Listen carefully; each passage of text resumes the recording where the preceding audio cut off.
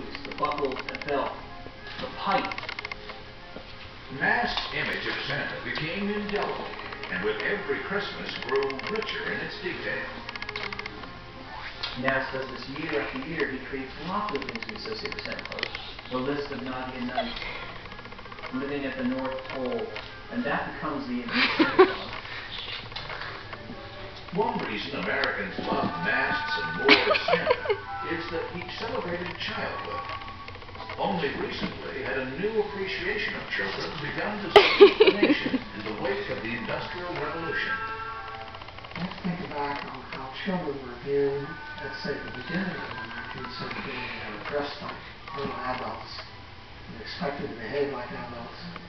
Up to the middle of the century, things began to Oh. change, and everything became very home-oriented. And so children became very central to Victorian